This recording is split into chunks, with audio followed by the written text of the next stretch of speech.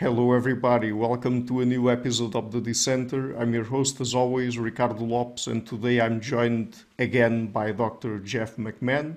He is a Sekyra and White's Professor of Moral Philosophy at the University of Oxford. Uh, I'm leaving links to our first two interviews in the description box of this one, uh, and today we're going to talk basically about academic freedom. So, Jeff, welcome back to the show. It's always a pleasure to everyone. Thank you, Ricardo. Um, as I said earlier, uh, you, you run an amazing set of interviews here. Oh, thank you so much, and thank you for your support as well. So, um, we're, we're talking about academic freedom here, but I would like to start with, uh, I guess, a broad question or a broader question. So, what, do, what would you say is the role of universities? Universities have many roles and functions, um, and different universities emphasize different roles or, or functions. There are some universities that uh, concentrate primarily on teaching, that is, on the uh, transmission of knowledge and the cultivation in students of the ability to think and reason carefully, impartially, independently, and critically. And uh, at these universities, knowledge of a particular field and effectiveness in teaching are the primary criteria for hiring faculty. There are other universities that generally go under the label um, research universities where uh, new research, that is the discovery of new knowledge, is the primary function of the university, though teaching is done and is very important and is often done by the people who are the leading figures in, in, in the field. But those people tend to be hired primarily because they are going to make contributions to uh, knowledge in the in, in the area. They're going to make advances in the area, not not so much because they are particularly good at um, teaching. But um, effective teaching, I think, is absolutely essential for having an enlightened citizenry and is therefore crucial for the flourishing of democracy. And I think the crises in democracy that we see in many countries today uh, are indicative of a, a, serious failure of universities to fulfill the teaching function effectively um, or, or to fulfill it well enough in serving the, the whole population and not just some segment of the population. Um, there are other functions of universities. Um, they provide vocational training, usually at the higher levels. For example, they uh, in, in medicine, law, engineering, and so on. And universities also um, seek to preserve, but also to reform, extend, and enhance um, the, the culture of, of, of, the society in which the university is based. So universities have departments of fine arts and music and so on. Uh, so it fulfills the, you know all the all these functions. And let me ask you a related question that I think it's important to address and will be informative when it comes to some of the other questions we're uh, addressing today. Do you think that academia and academic work is incompatible with political activism? I'm asking you this because uh, there are many people, and we're going to get more into this from the right and the left, or uh, the left of the political spec spectrum that argue that uh, things like political activism or promoting I don't know, political ideas on campus is incompatible with uh, academia.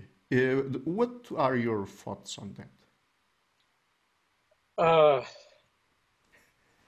I think it would be inappropriate for a, a chemistry professor mm-hmm. to use class time to proselytize for his or her political views, um, or uh, you know, a physics professor or something of the sort. But uh, people who teach, for example, moral philosophy or political philosophy or political science or political theory, or in some instances sociology and, and, and so on, um, these are fields that address questions of, of morality and politics. Um, and uh, it's, I think, inescapable that uh, some people who are deeply concerned about moral and political issues will precisely for that reason go into academia because they want to devote their time and energy to thinking very hard about these issues and trying to discover what's true about these these matters. And uh, it's going to be difficult for them to avoid some uh, expression of their own views uh, mm-hmm. in, in the classroom. Now, I do know people who teach moral and political philosophy who try scrupulously to avoid um, championing their own ideas in the classroom. Um, I myself have tended to follow a different uh, method. I often present arguments for the views that I think are true and invite challenges from the, the students and welcome challenges from the students. And in the past, I have often given the, the highest grades to the students who challenge me the most because I learn from them. If they're, you know, if they're serious and they're capable and they're attacking my views, what, what could be better? I learn from that. I, I under, you know, I come to understand the weaknesses of my views and, and, and so on. Um, so I, th- I think it, it, within the appropriate limits, it's perfectly acceptable for, for people to, uh, to, to, to be activists and to, to have strong political views and to um, have those discussed in, in the classroom. Mm-hmm. So uh, it, people have to be forthright and honest about what they're doing. You know, mm-hmm. I, I tell in the past I don't teach undergraduates at Oxford in the classroom context. I have given lectures to, to students and answered some questions, but um, when I used to teach regular undergraduate classes in the United States on um, issues in practical ethics, I would always tell my students exactly what I was doing. I would say, I'm going to present some arguments for views that I think are the most plausible, and um, tell me what's wrong with them, show, you know, and, and let's also discuss the opposing views and so on. But I, I don't try to hide what my beliefs are. But I explicitly tell the students, it's not going to make any difference to your grade whether you agree with me or disagree with me. And I, I, I was being sincere about that. Mm-hmm. So each of us has their own political, moral, religious views, views of other kinds.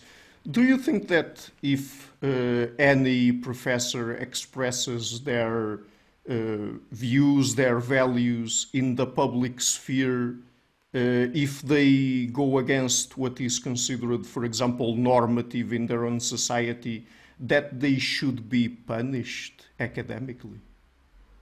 Uh, definitely not. Um, I, I, I, uh, if an academic person is expressing views about his or her own academic discipline in the public sphere, mm-hmm. I think that is protected by principles of academic freedom. But I also think that faculty uh, are free morally uh, uh and professionally to express their views about sensitive or controversial matters of politics or religion or economics or morality or whatever in the public sphere without uh, uh, any fear of uh, there being any bad effects for their employment. And in particular, without fear of their being punished by the university. It, it um, uh, when this happens, the university is uh, uh, outside its appropriate limits. I'll mention one case of this uh, a long time ago. uh, there was a man who taught somewhere on the East Coast. He was a Palestinian American named Stephen Salaita. Um, he was uh, hired by the University of Illinois at Urbana Champaign, which is the main campus of the University of Illinois, to teach English literature there. Um, but he was a political activist, and uh, he this this was at a time one one of the Israeli incursions into Gaza and he wrote on social media various um, possibly intemperate uh, condemnations of the Israeli invasion uh, of Gaza. As it happens, I agreed with what he said. Um, uh, but uh, then, then members of the board of trustees and other people took this to you know, to be anti-Semitism or something of the sort, and the board of trustees of the university had a meeting and voted, and, and his contract was canceled. Now, this is a man who had already signed the contract. He had quit his job on the East Coast. He had sold his house there. He was getting ready to move out to Illinois. And his, suddenly his job was taken away from him. And the last I heard of Stephen Salaita, he was a, a, a bus driver. Um, he had written a number of books. You know, he was a prominent uh, academic. Now, this was detestable, and in fact, there was a there was a kind of informal boycott of the University of Illinois, and I was actually scheduled to go there and give a lecture to the philosophy department. Um, it had been advertised and so on, and I withdrew uh, from that and said I was going to uh, respect the boycott and not go speak at that university because of what it, the, the, the chancellor had uh, approved doing to Salaita. And I wrote a letter to the chancellor of the university saying that's exactly why I refused to come. And I will say, to, to their credit, most I had I used to I I had formerly taught at the University of Illinois, um, and so the many of members of the philosophy department there were were uh, former colleagues of mine, and most of them supported me in my refusal to speak there. They, they, they too thought that what had been done to Salaita was unjust. That's the kind of thing that should never happen. Mm-hmm. So, um, this is perhaps one of the most controversial questions I have to ask you today, but do you think that um, people nowadays are talking a, a, lot about threats to academic uh, freedom?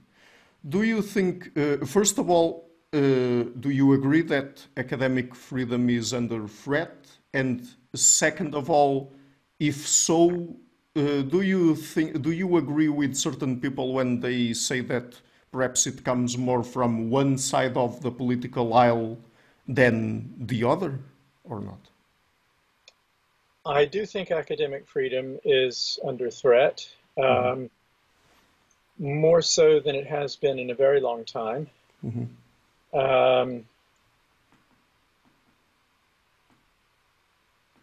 the there are kind of more visible instances of attempts to prevent speakers from coming to universities and that sort of thing from people on the left. But there is a long history of uh, threats to academic freedom from people on the right as well. Um, I think the the uh, the reaction to Stephen Salaita was primarily from the right, from the kind of pro-Israeli right. Um, there has, it, it, for a long time, many years, there has been an organization in the United States. I don't know what the name of the organization is, but they have a, a website and so on. It's called Professor Watch List. And this is a right wing organization that encourages students to report online uh, uh, any instances of professors uh, defending left wing views in the classroom. Mm-hmm and the parents of students go that's, on. That's right. Um, there have also been repeated attacks on climate science and uh, personally on climate scientists from people on, on the right. Um, so it, it is not all from people on the left by any means. let me give you a couple of examples of um, colleague uh, from the careers of colleagues of mine. Um, mm-hmm. I believe we're going to talk at some point about the Journal of Controversial Ideas. Yes, I have I have two co-editors uh, uh, for that journal. Um, one is Peter Singer, the other is Francesca Minerva. Mm-hmm.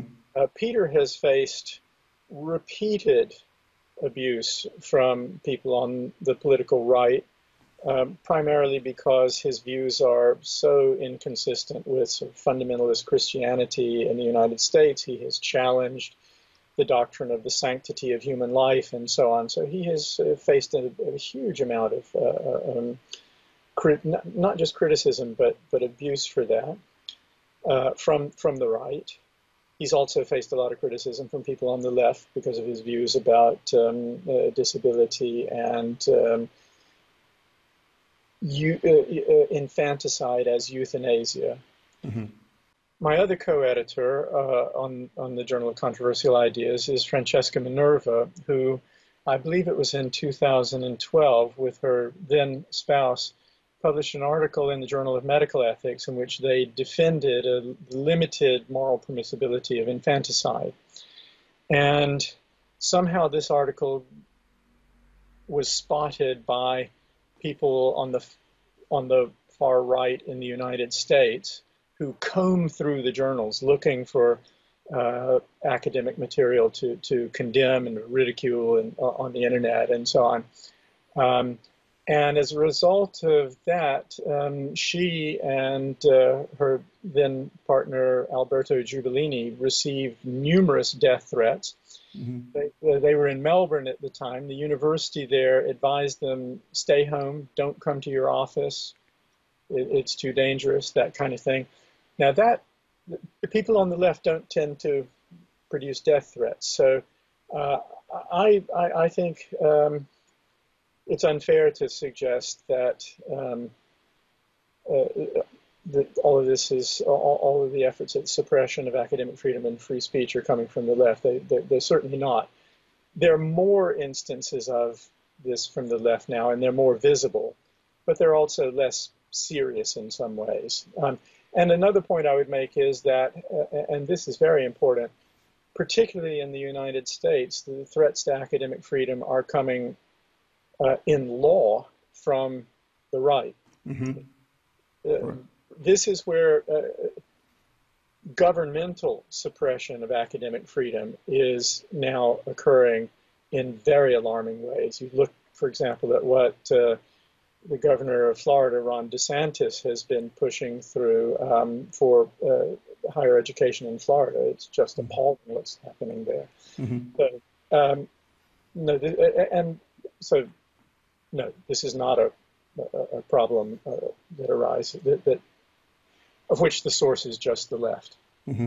Yeah, just to add to that, by the way, that I've uh, had uh, Peter Singer and Francesca Minerva on the show. With Peter Singer, I didn't really address uh, the, those criticisms and abuse he received, but with Francesca Minerva, we talked about what back then she called post-birth abortion and, uh, and, and yeah we got a little bit into that. And also uh, when it comes to what you just mentioned in Florida and, and, with Ron DeSantis I mean it's not just the actual threat to academic freedom but also uh, along with that threat to academic freedom uh, LGBTQ people are being directly targeted. So it's also a moral and a political issue in that particular case, I think. Certainly.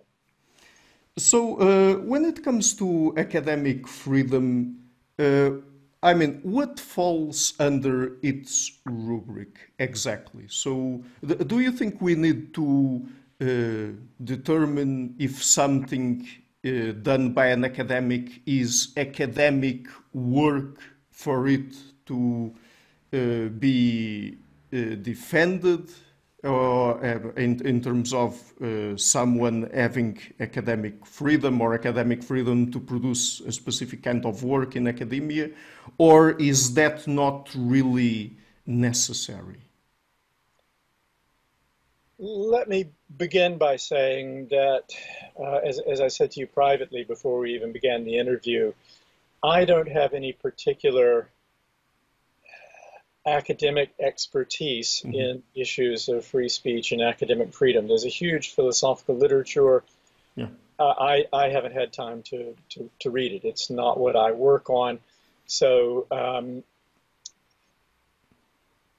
I, I uh, uh, a lot of my answers to your questions are going to have to be rather tentative and, mm-hmm. and, and modest in their pretensions. So, um, but the, the question you ask, I think, is, is, is fairly straightforward uh, uh, to answer, and that is that the concept of academic freedom is in no way precise. Um, we need to know what comes within the scope of the principle of academic freedom. We need to know what is protected and why. And this isn't just a matter of conceptual analysis. You're certainly not going to get the answer by looking at a dictionary or anything like that. It is a matter of substantive moral and political philosophy. Mm-hmm. Um, and I don't know the answer to it, but this is something that's absolutely vital for um, people who are concerned with academic freedom and free speech to get clear about. And it's one of the things that one has to defend a particular view of. Mm-hmm. So, um, the question I'm about to ask you, of course, uh, perhaps to address it properly, we would have to get into a discussion about uh, what's really the difference between academic freedom and freedom of expression or free speech. But uh, anyway, do you think that all speech and ideas should be allowed uh, on campus and in academic work? Or do you think that perhaps uh, some sometimes some some form of censorship uh, is or should be allowed? Um, I think there are very clear instances in which um, there are ideas that ought not to be expressed in an academic context, certainly not to, to students. I mean, the most obvious instances are things like this. Um, an academic should not be allowed to publish a paper that um, explains step by step how to create a, a, a, a pandemic microbe. Mm-hmm. Um, and no academic should be allowed to publish a paper that explains step by step how to build a nuclear bomb. Um, similarly, no academic should be able to um, argue for ethnic cleansing or, or something like that, the, the, the, extermination of another race. Where the boundary lies, I don't know, but certainly some ideas are extremely dangerous and potentially extremely harmful, and of course those have to be censored or suppressed. Um, but there's a, a, difficult question of determining where the boundary lies between acceptable and unacceptable. And again, I just have to um, be very modest here and say I have no idea where it lies. Um, and this is again something that is should be subject to vigorous and open and civil debate. Mm-hmm. Uh, and what do you think about uh, things like uh, trigger warnings? I mean, even with academic freedom in mind, uh, do you think that professors should take their the sensibilities uh, of their students into account, or not? Um, yes, I do. I, I think. Um, trigger warnings by themselves don't violate academic freedom or freedom of expression. Mm-hmm. And I think it's good when uh, professors use them uh, when, when necessary or appropriate. Um, I don't think, however, that they should be compulsory. Uh, there are usually, you know, a student can talk to students who've taken a course before. Usually courses are repeated over and over again to find out whether there's going to be material that might make the student uncomfortable or the, student would find distressing and so on. Usually a, a, syllabus is provided in advance of, of a course. You can usually find the syllabus online somewhere um, and find out what's going to be discussed. I think it also makes a difference whether the class is uh, one that is required or one that is optional for students to take. Mm-hmm. Um, so uh, again, I don't think that. I, I think that, that, students have considerable uh, um, resources at their disposal to find out for themselves whether um, something that might upset them is going to be discussed, and if they uh, if they can't, uh, uh, if it would be difficult for them to be a, in a room in which a, a particular issue is is openly discussed, then it's usually possible for them to find out in advance that that is likely to happen and avoid it themselves. So I, it, I don't think it should be compulsory for professors. But when it comes to students avoiding certain kinds of topics, do you think that if they choose to do so, if, for example, in class they would be exposed to something that because of some personal experiences they had, for example, really uh, hurts them, I mean, being exposed to certain kinds of topics and ideas, uh, if the students choose to not attend uh, specific classes, you think they should be penalized for that or not? Uh, in general, uh, no, I don't think they should be penalized. Um, again, it's it, it, it's complicated. Mm. One one consideration is whether the course is one that they are required to take mm -hmm. for the degree, or whether it's optional. Right. Another another point is that for almost any class, whether required or optional, students are permitted to miss a certain number of the classes without having to provide any kind of explanation whatsoever. I think that there should be some attendance requirements uh, for most classes. That is to say, I don't. Uh, it, it, would seem to me odd that a student would be able to get a, a, a passing mark for a class without ever going to it. Um, that's you know, part of what being taught is, is going to the class, listening to what the professor says, in many cases exchanging views with the professor, engaging in discussion and so on. That's what the educational process mm-hmm. consists in. And so uh, in many instances, professors don't have any attendance requirements. In other cases, there are attendance requirements when there are attendance requirements, um, I think students who can expect that they may be upset by a topic that would be discussed on a certain day, they can just uh, uh, reserve their allowance of uh, uh absences for those days and just not go, and that's mm -hmm. fine. I mean, there are, the, the, again, there's a more complicated problem, and that is if the student has no idea that a certain topic is going to be discussed, and the topic then comes up, for example, raised by another student in, in, in mm-hmm. discussion, and the the student who has had some bad experience in the past finds this very traumatic to have this discussed, I think the, the, the, the student can should just stand up, say to the professor, please excuse me, walk out, and then later explain to the professor, I'm, you know, I'm sorry. Um, I, I just couldn't. And, and any professor should obviously excuse that. Mm-hmm.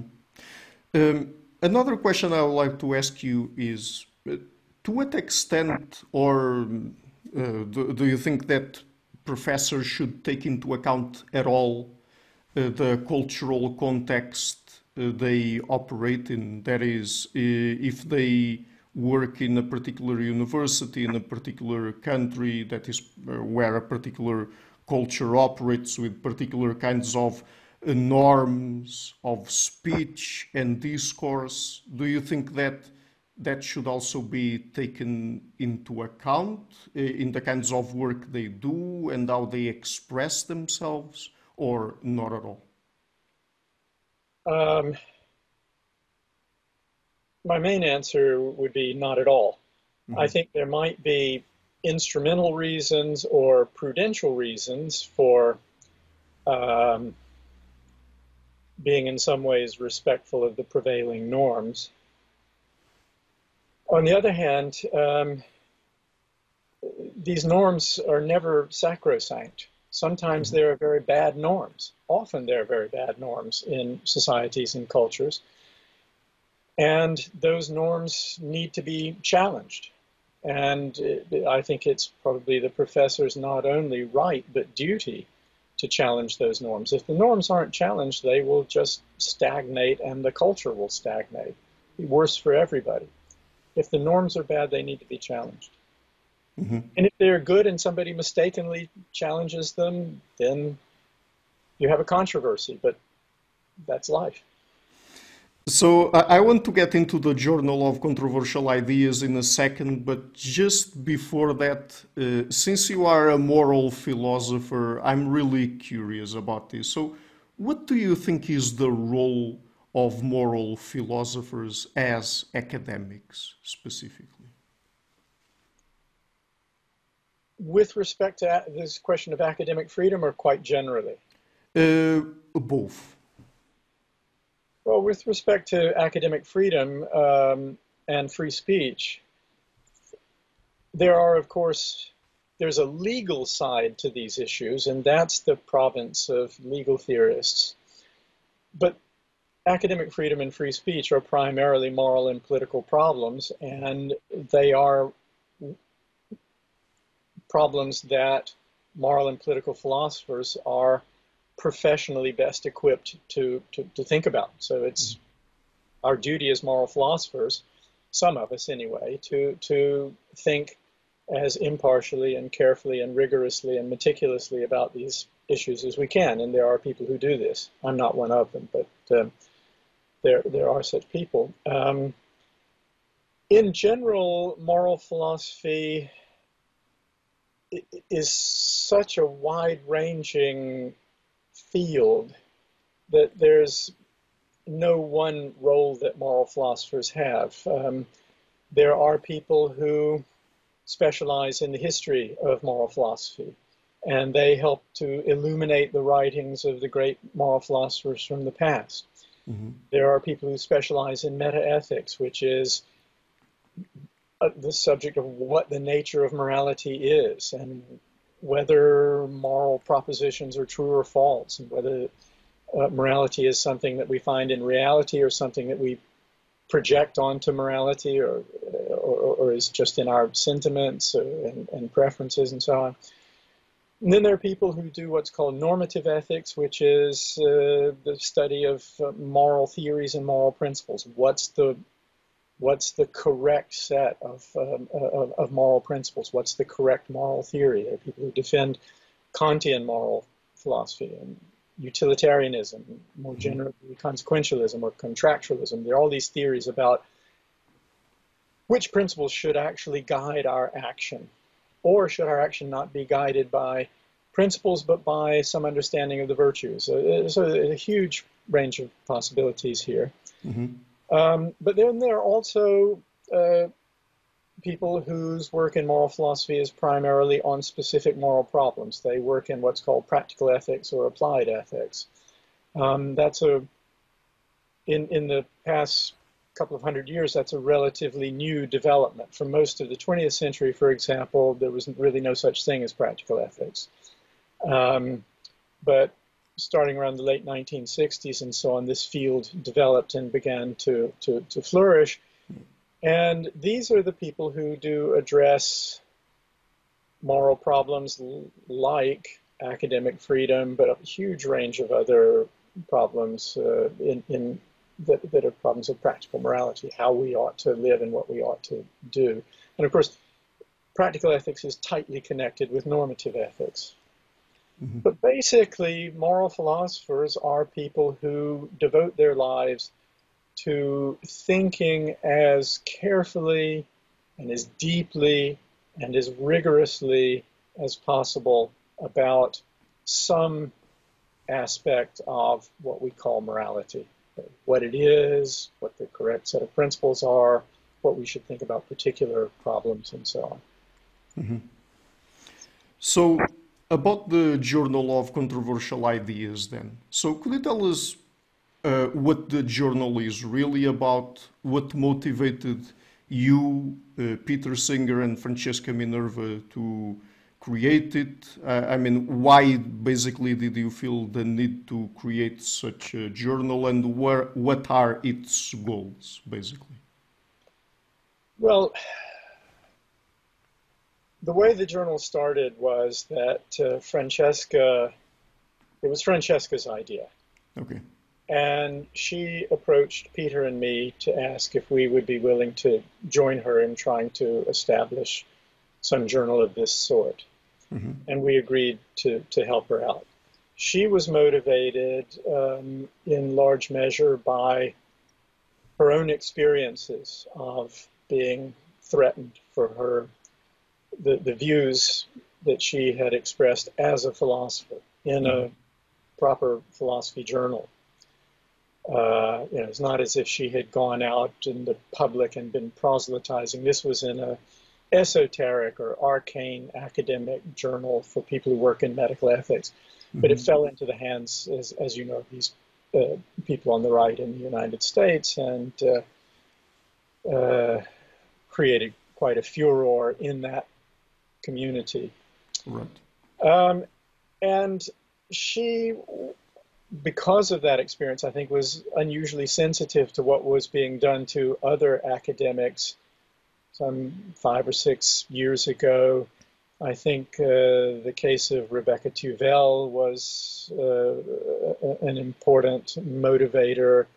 This was a, uh, an untenured uh, philosophy professor at a university, I believe, in Western Tennessee, um, not sure, um, who published an article uh, in a journal, I think, called Hypatia, in which she argued that the arguments that people give for the claim that um, trans women are women and trans men are men, that we can we can choose our identities in some way. Mm-hmm those arguments applied equally to race. And so she was defending uh, this woman whose name I forget, who had been, uh, who who was, how to put this, born white, but decided that her sense of self was as a, a black person. So she sort of adopted the identity of a black person and passed for a black person. Um, and it came out that she wasn't. And, and Rebecca Tuvel, I think, you know, argued that uh, the same arguments that support recognition of transgender people should also support recognition of transracial people. Mm-hmm. And uh, uh, she was attacked by a huge number of senior academics who published some kind of open letter or whatever calling for the retraction of the paper and condemnation of her views and so on and so forth. So it was instances of phenomena like that where in which the the the personal lives and careers of academics were being imperiled because of broad responses to their hostile responses to their work facilitated by social media and the internet. And uh, again, the Salaita case was another one that was uh, prior to the Tuvel case. And again, that one came, the criticism of Salaita came from the right, the criticism of Tuvel came from the left. Um, and Francesca's idea was that there should be a journal that would enable philosophers and others to publish ideas that might attract hostility and disrupt their lives in very painful and harmful ways. These that, that, that people who who had these ideas and wanted to ha- get them into circulation could publish their work under a, a, a pseudonym, so mm-hmm. they could not be identified as the author. Um, and Peter and I thought that was a good idea. That is, um, people should be able to argue for, give evidence for, give the reasons for views that they think are correct that other people find abhorrent or offensive or immoral or, or, or whatever, without having to sacrifice their lives and careers to get the ideas in mm-hmm. circulation. So that's that's really why we uh, founded the journal. Mm-hmm. Uh, by, by, the way, just before I move on to the next question about the journal, uh, let me just refer the audience to an interview that I'm releasing in a few months. I think probably in October with Rebecca Tuvel. I've interviewed her recently, and we didn't really get into the controversy itself, but we talked about her arguments surrounding transgenderism and transracialism, which are indeed interesting. So um, just if people are interested, then look for that interview. So, um, and what is basically a controversial idea then? Well, it's a it's not a univocal concept. Um, there are controversies within disciplines or within fields. Mm-hmm. There are controversies in physics. There are controversies in which in all academic areas in which ideas in the in the field are hotly contested by uh, uh, those who believe that the ideas are true and those who believe that the ideas are false. Mm-hmm. Um, this is not the sense of controversial idea that um, we have in mind in the title of the journal. What we mean by a controversial idea is uh, an idea that some people find to be true and important, other people find to be abhorrent, dangerous, immoral, offensive. And so the expression of these ideas leads to hostility and polarization and um, denunciations and vitriolic exchanges without actually debating the merits of the ideas. And so, what we wanted to do in the Journal of Controversial Ideas was to provide a forum in which these ideas that normally just produce a lot of vitriol mm-hmm. are discussed by people on both sides of the issue in ways that are civil and that are give the reasons, the arguments, and the evidence on both sides without ad hominem comments and without polemics. And um, if I can call attention to what I think is one of our successes in this uh, uh, uh, ambition, um, there was a paper by Alex Byrne about um, transgender issues. What what is it to be a woman? What what does being a woman consist in? And same thing might be said of a man as well. And uh, th- this paper came to us because Byrne had published a paper.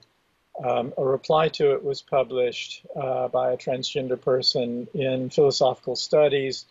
Byrne wrote a reply to that criticism of his view. Um, the editor, I think, of the journal, I, I, may be getting my facts wrong here. I can't remember all the details, but I'm, my belief is the editor was in favor of publishing it, um, publishing Byrne's reply. Um, I think it had good external reviews and so on, but members of the editorial board protested, didn't want to publish the paper, and the editor resigned, but the paper was rejected. Byrne's sent it to us. Uh, we had it. We we sent it out for peer review and uh, we decided to publish it. Um, but I was contacted by someone um, I know who's who, who's uh, who whose views are, are, are highly pro transgender, um, and that person wrote a, a, reply to Byrne's paper under a pseudonym, mm-hmm. Um, and both writers. Uh, Byrne and the pseudonymous critic confined themselves to the reasons and the arguments. They, they, they provided you know, charitable interpretations of each other's views and so on. It was, it was a serious philosophical debate without, I mean, well, I think, you know, put it in the terms of the old cliches, there was a lot of light but no heat. And right. that's the way these, these debates should be conducted. And so I'm, I'm particularly uh, proud of that exchange in the journal. We, we were, we were able to uh, make it possible for there to be this very serious but, but polite, civil uh, exchange of carefully reasoned arguments on both sides. Mm-hmm.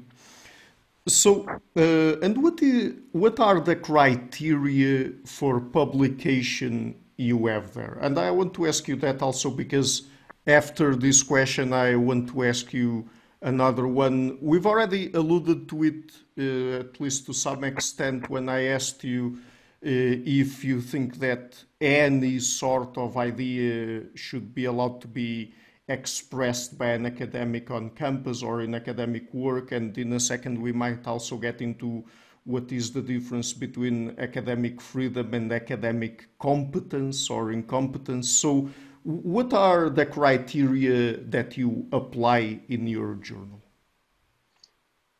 Well, the first one is that a paper should actually be controversial in the sense that I described earlier. It's not just an ordinary academic journal, but you know, which any kind of paper, however kind of bland and, and uh, boring it, it, might be, can be can be published.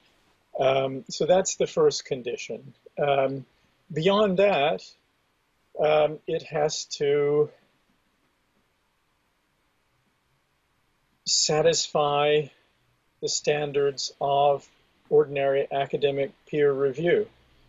Most journals send out papers to only one or two external reviewers. We often send a paper to anywhere from three to five external reviewers. We when a paper is controversial, it's it's particularly important that it should be uh, uh, should should satisfy, and we should be quite certain that it satisfies the normal standards for academic publication.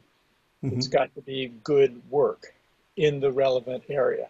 Right. And that's hard for us because the three of us are philosophers. So we have a we have an editorial board who help us out in these matters, um, but um, it is difficult being a co-editor of a kind of multidisciplinary journal when we have no competence in, in some of the areas in which the uh, authors uh, work.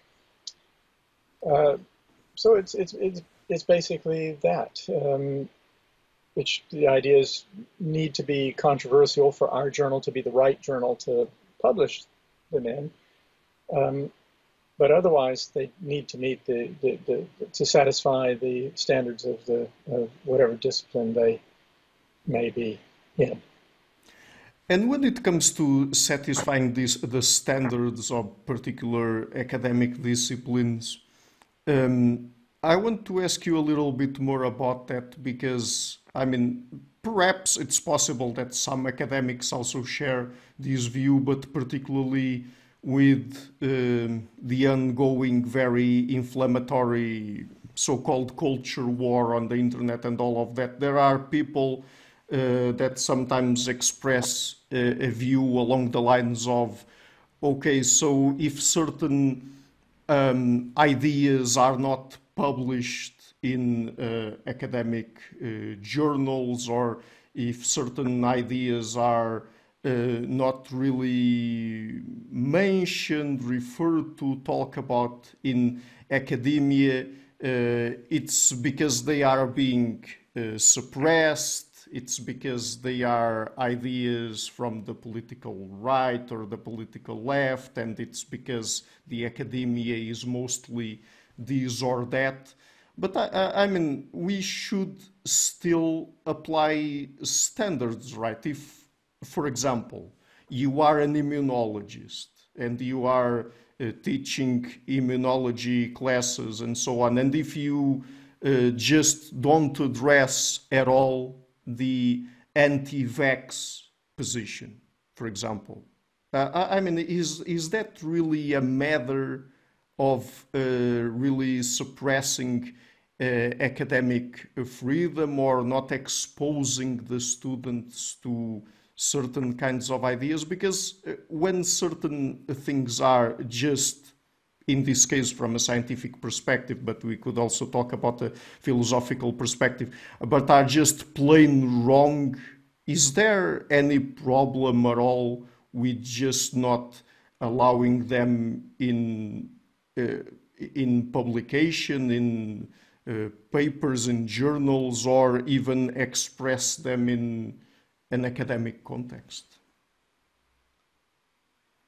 Well, let me say one thing initially, and that is if there are ideas in a particular academic field or discipline that are just plain wrong, but are also highly influential okay. and also dangerous, mm-hmm. um, then I think it is the duty of people in the field to uh, explain why these views are mistaken okay. as, as carefully and as clearly as they possibly can. Um, I do think uh, academics have these responsibilities as academics, as thinkers. Mm-hmm. Um, we're not here just to uh, uh, get uh, tenure and promotion and uh, uh, get recognition as uh, uh, intellectuals. Right. We, we, we, if, if we're studying things that are of moral and social importance, um, then we have duties about uh, how we uh, mm-hmm. present our ideas or whether we present our ideas and, and so mm-hmm. uh, Noam Chomsky wrote about this a long time ago, very long time ago, in a piece on the responsibilities of intellectuals. And uh, I remember that was a, that was a very uh, influential uh, piece in my own career mm-hmm. um, as a philosopher. Um, but here's the important point. Um, academic ideas and theories and so on need to be assessed by the standards within the discipline or the field mm-hmm. and not by uh, ideological criteria or on the basis of the identity, whatever that means, of the person who is mm-hmm. producing um, the idea or the theory.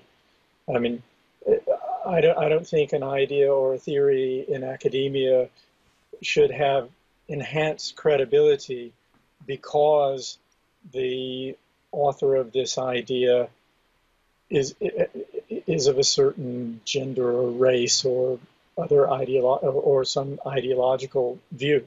Mm-hmm. Um, there used to be a, a, a, name for that in philosophy. It's called the genetic fallacy. Um, yeah. you know, the, the, the plausibility of an idea doesn't depend on who produces it.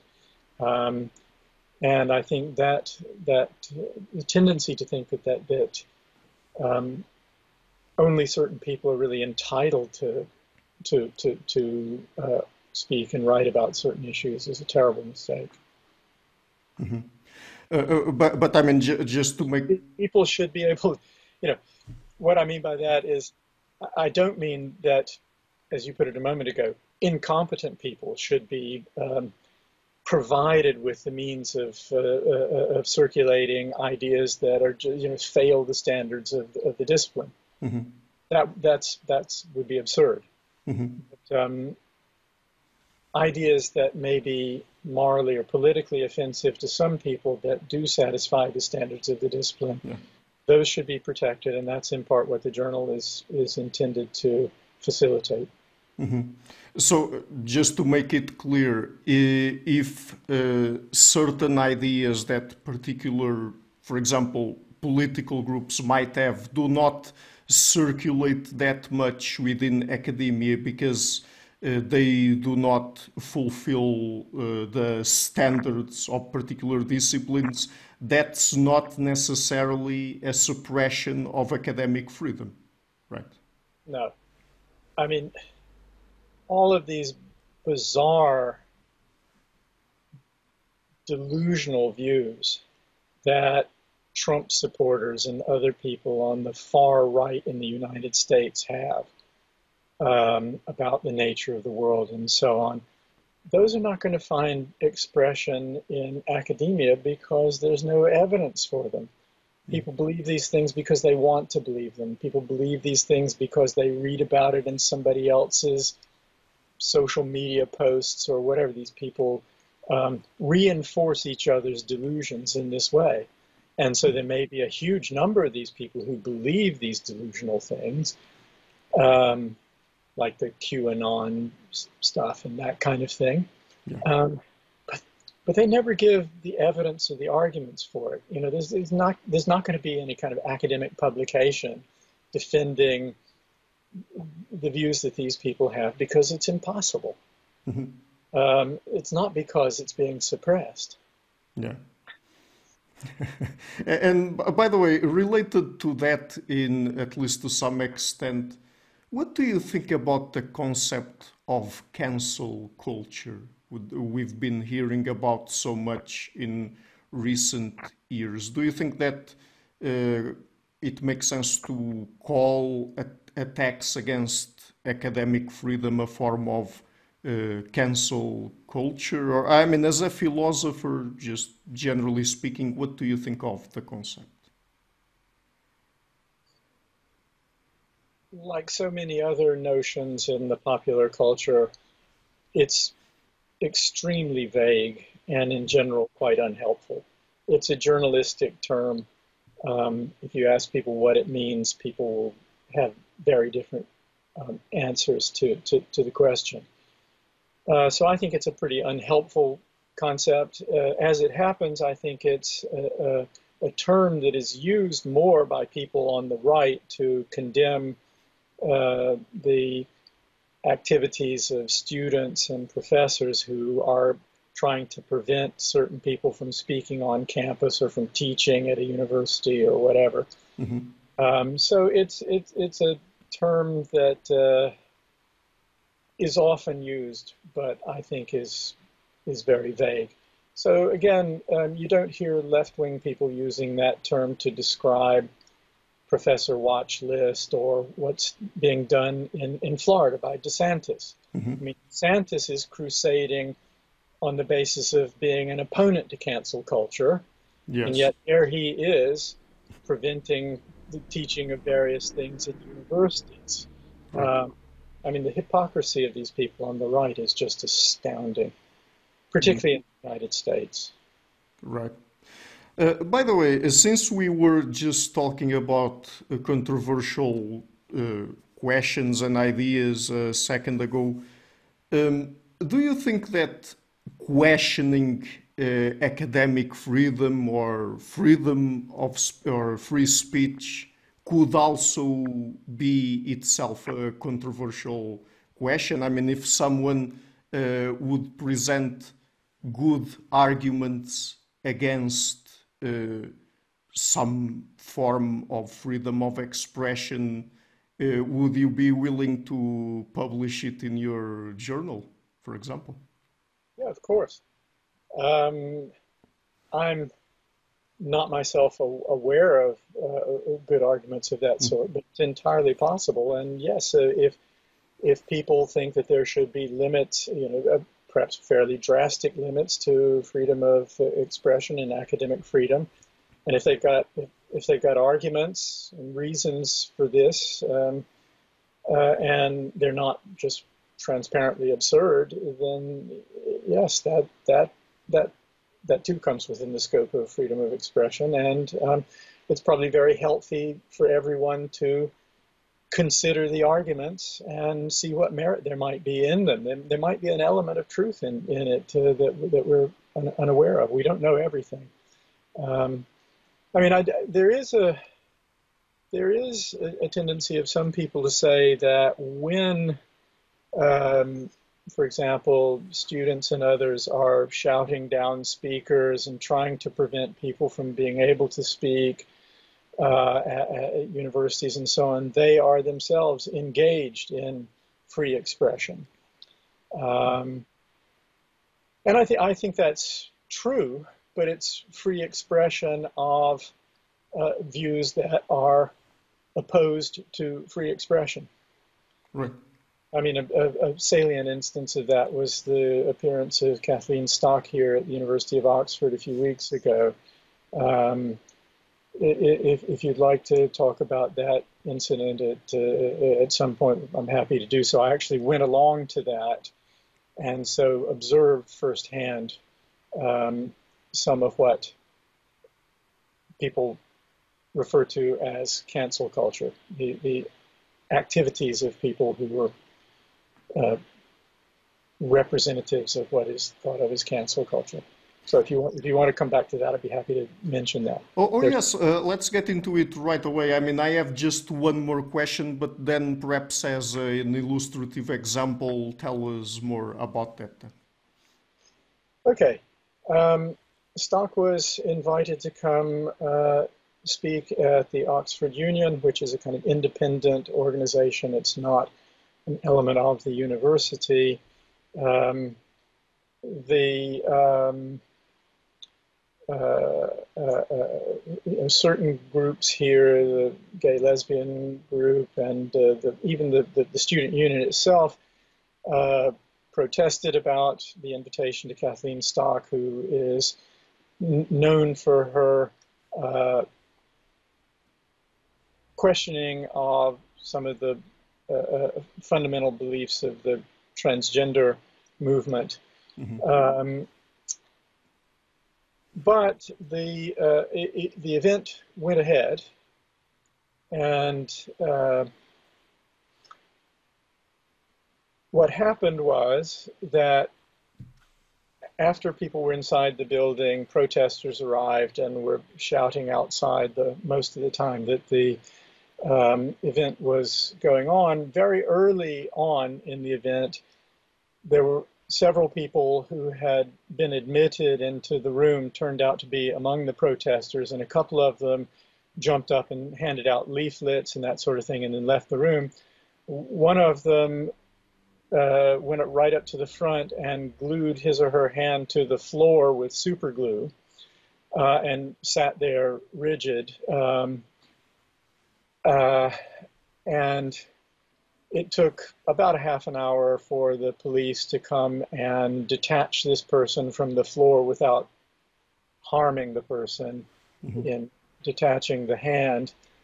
And so what happened was everybody, I don't know, maybe there were 200 people in the room. All these 200 people had to sit there and waste a half hour of their time wait, waiting for this person to be um, taken out. Mm-hmm. And I think the, the protesters thought of this as, as a great triumph. Um, what was actually going on in the room was that the very beginning of the event, the president of the student union began asking Kathleen Stock very um, challenging questions. Mm-hmm. He was challenging her as, as, as well as he could and, and doing quite well at it. And as it turned out, the whole event, I thought, I, I thought when I decided to go to it that she was going to give a talk, but that wasn't what happened. The whole event was that the president of the student union, followed by other uh, members of the union, and then followed by members of the audience quite generally, put questions to Kathleen Stock, which were in general highly challenging, mm-hmm. uh, forcing her to defend her views. Um, what was going on outside, what was, you know, so, so the person who glued the hand to the floor um, wasn't interested in, in exchanging ideas and arguments.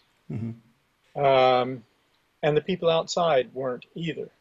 Um, when I left, the huge mob of people outside chanting and yelling with banners and posters and that sort of thing.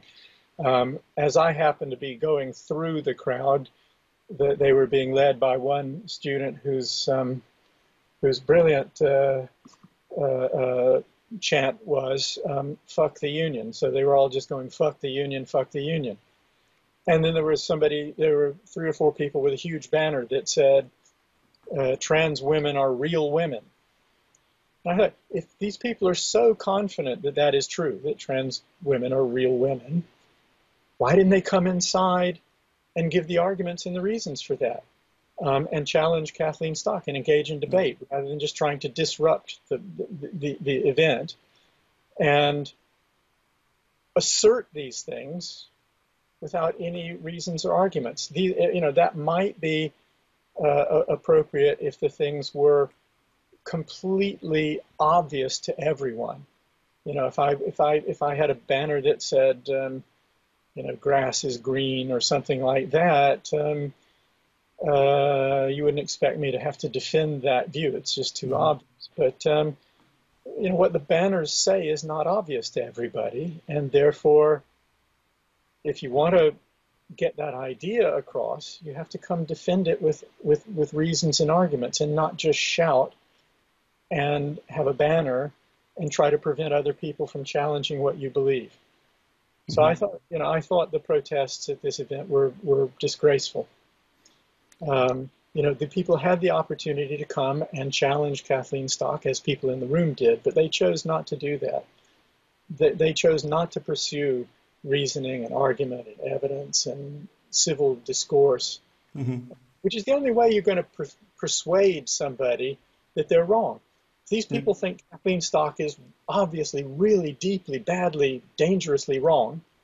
They're not going to persuade her or anybody who is, who is persuaded by her arguments, and she does give arguments. They're not going to persuade any of those people to change their minds by saying you're immoral, you're wicked, you should be silenced, uh, uh, and so on. That's totally counterproductive. It's totally self-defeating. I don't understand why they can't see this. Yeah. Uh, also, I guess that because in that particular case and others, it's not just a matter of uh, epistemic slash intellectual intellectual interest, but also, I guess, in this case, if you're trying to, for example, defend the rights of minorities like uh, trans people. I, I, mean, since we live in the culture we live in, I, I mean, yeah, it's perhaps sometimes it's bothersome, but you have to try to convince other people that you're right. Correct. But what I'm saying is, you won't do it by wasting people's time by gluing yourself to the floor yeah. and preventing a debate from going on and by threatening the speaker and by making so much noise that people have trouble hearing what the speaker is saying and, and so on. Mm-hmm. These, I, I, I, I, am, you know, fully in sympathy with the the, the uh, transgender people and their um, mm-hmm.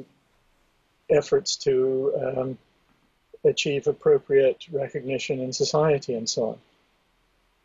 But the way they were behaving at the stock lecture is not the way to do it. It's self defeating, in my view. Mm-hmm. And it's wrong. Yeah. And it's been very, very harmful to people like Kathleen Stock. You know, they go on about tangible harm to this, that, and the other. I mean, she simply couldn't go on teaching at, at, at the university. It was too, too, too demoralizing and threatening. Mm-hmm. And, and, you know, it was similar for uh, uh, Rebecca Tuvel. I'm told. I don't know her. I've never spoken with her, but um, I do know people who know her well, and they've mm-hmm. told it was just hugely traumatic to her as a junior academic to be condemned by so many senior people in her own field and in other people and in other fields.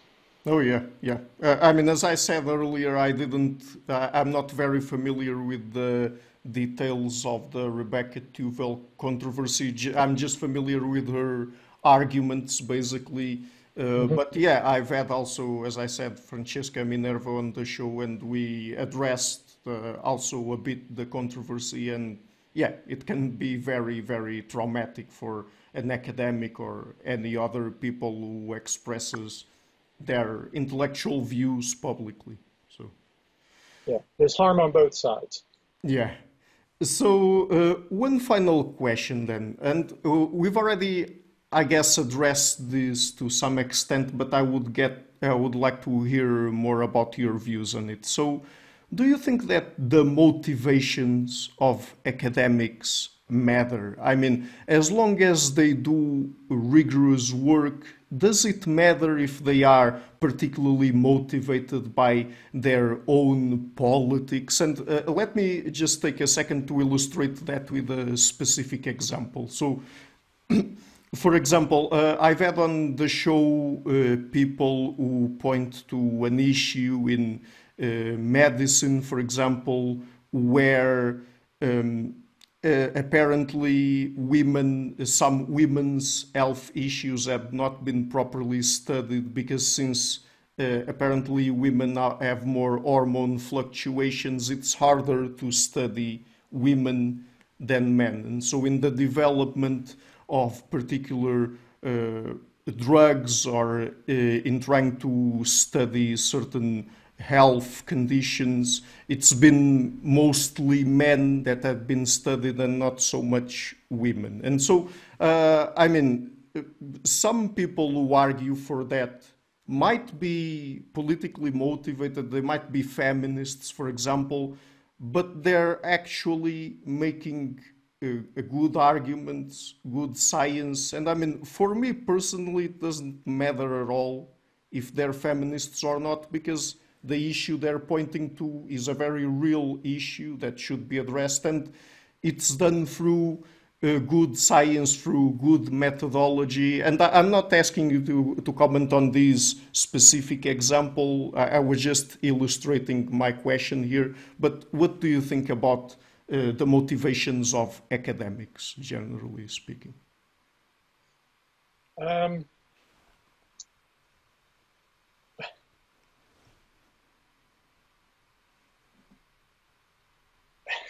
sorry. Uh, what I think is, uh, uh, you know, it's going to be hard to, to, to express this quite right, but um, my, my, my view is that if their motivation is good, that's good, and if their motivation is bad, that's bad. Um, you know, suppose um, uh, someone wants to publish a paper about the characteristics of some group, um, you know, maybe some ethnic group or whatever. Mm-hmm. And they want to do this because they want this to be ammunition for um, anti-immigrationists. Mm-hmm. Um, yeah. I think that, that, that that's bad motivation. On the other hand, if the work satisfies all the relevant standards and so on, then it probably ought to be published. The question is, does it satisfy the standards? Um, in my work in moral philosophy, and I know in Peter Singer's work in moral philosophy and many other moral philosophers, um, the work is morally motivated, morally and politically motivated. Very mm-hmm. early in my career, I, I wrote a lot about nuclear weapons. Yeah. Um, this was a long time ago, and people don't really um, refer back to that literature anymore. But in the late 1970s and early 1980s, there was a there was a literature in philosophy about the ethics of nuclear deterrence, and and um, I was wholly sort of morally and politically motivated in, in what I in, in trying to understand those issues because I, I thought they were just hugely important. And so being morally or politically motivated, I think, is fine. But people can be badly morally and politically motivated. You know, there were uh, uh, moral and political philosophers who, who, who wrote in support of Nazi ideology. Mm-hmm. Um, and uh, they were just badly motivated and much of the work is not very good, whatever you know it covers. But uh, so, I, and in some ways, that's just sort of obvious, I think. uh, but but I guess the point is, one doesn't have to be kind of impersonally and impartially motivated simply by the desire to achieve the truth for its own sake. Mm-hmm. In in a particular area, one can be motivated by uh, the desire to produce a better world. And I think often scientists are motivated that way, moral philosophers are often motivated that way, and so on. And that's good. Mm-hmm. If it, particularly if it leads people to do good work. Mm-hmm. If they are willing to be wrong. That's, you know, I, uh, as I said earlier, when I taught my classes and when I show people my work and when I give lectures, what I want is criticism. Um, I want objections to my work. I don't. I don't. I want to. I want to be aware of the objections. I don't want to make mistakes. It's important that we get these things right, and I don't want to publish stuff that's just mistaken. What a stupid thing to do. I mean, if, if my my work, I want it to have practical effects, but if it's going to have practical effects, it better be right, not mm. mistaken. And so, I mean, there was one instance in which I I had um, I had published an argument in two two uh, academic papers. I'd used it in different ways, um, and lots of uh, very distinguished philosophers had read this, these papers before they were published, and, uh, nobody caught the mistake I was making. And I had a, a graduate student whose field was epistemology, um, who wrote a, a paper uh, and criticized my argument in these two papers, and I realized he's completely right. I'd made this terrible mistake. I published it in two papers. And only when I realized that I had made this mistake was I able to see other things that had been hidden from me. And I, I was able to make a lot of progress, I think, in, in the direction of the truth as a result of this man's pointing out to me this mistake that I had made that many other really distinguished philosophers had failed to see. Um, so, you know, we always can learn. Um, and uh, you know, who wants to who wants to defend mistaken ideas? I don't. If I'm making a mistake, I want to know it. Yeah, right. No, I, I mean, I guess that uh, the point I was just trying to make and what I ask you about is if we should really be so worried about particular people being left wing or right wing. I mean, at least as far as I'm concerned, if their work is good, if they're doing proper science and proper philosophy, I mean, who cares? If they are left wing, right wing, if they are centrists, if they are feminists or whatever. I, I, I mean, yeah, per, perhaps they say certain things that are or make make certain bad arguments, and yeah, we can address those arguments. But as far as they as their work is concerned, if it is good, rigorous, fine, as far as I'm concerned, at least. Right? I agree completely. And again, this is what the Journal of Controversial Ideas is for. It is to enable people to, even if they do have good arguments and good reasons and whatever, even if they're not the best, but if they're good, if, if they're worth taking into consideration, um, then they should be heard. And the way to respond to them if, if, if, if they are mistaken is to explain carefully why they're mistaken and not just to denounce the source and say you're a bad person. Right. So, uh, Jeff, let's end on that note then. Uh, thank you so much again for the great conversation. Uh, just before we go, would you like to mention where people can find you and your work on the internet? Well, I, I, I, think if you just type in my name the, um, on Google, um, you can find my web page on the Faculty of Philosophy at the university. I used to have my own kind of web page, but it, it, that sort of disintegrated, and so I've I've got most of my work is uh, available on the Oxford Philosophy Faculty website.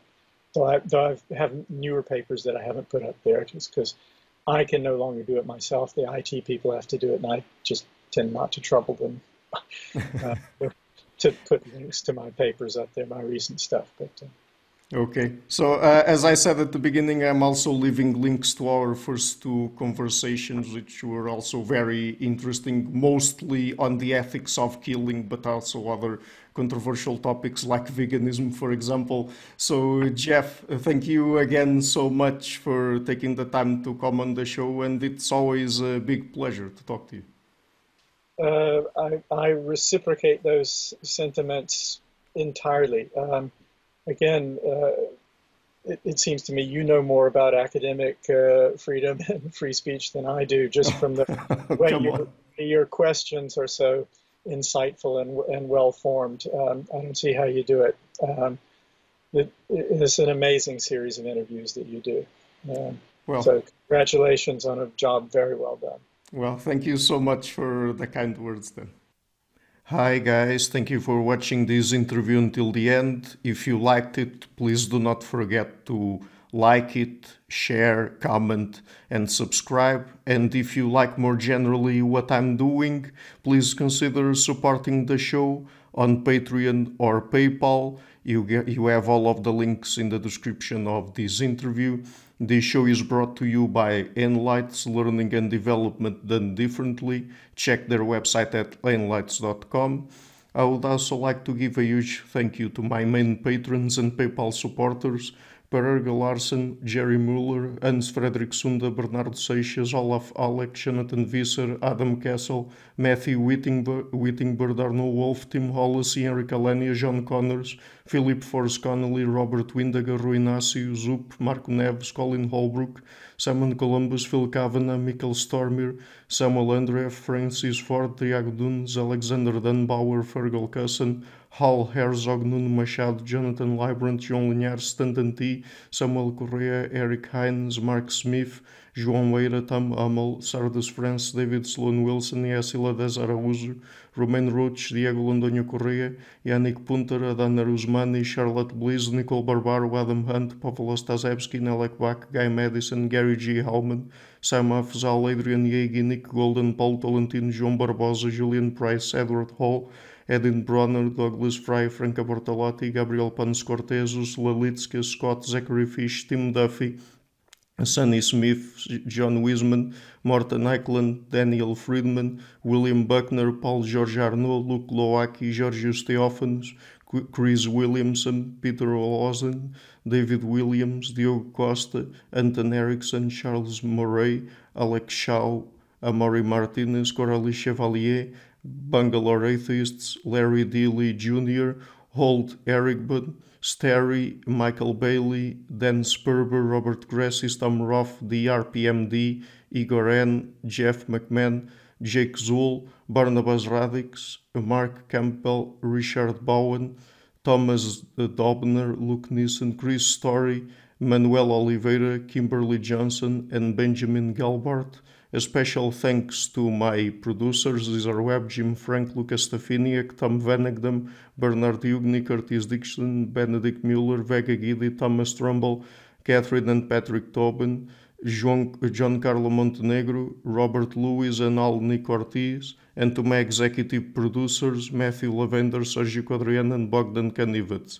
Thank you for all.